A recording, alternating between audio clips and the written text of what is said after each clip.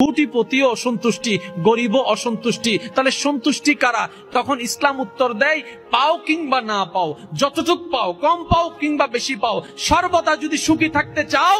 পাও না পাও সর্বদা আলহামদুলিল্লাহ বলে আল্লাহ শুক্রিয়া আদায় করতে থাকো পাইলো আলহামদুলিল্লাহ না পাইলো